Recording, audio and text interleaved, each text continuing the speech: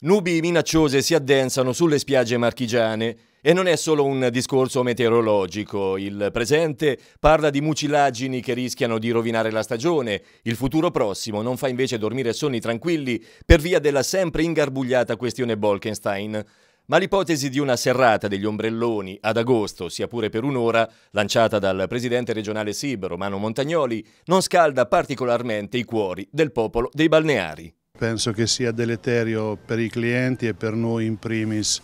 Uh, io appartengo al popolo produttivo, siamo andati a Roma, siamo andati a Bruxelles, le manifestazioni si fanno in altre sedi, non certo in spiaggia. Se si tratta di un'ora di sciopero la si può fare, ma non, non, vedo, non credo che serva a qualcosa.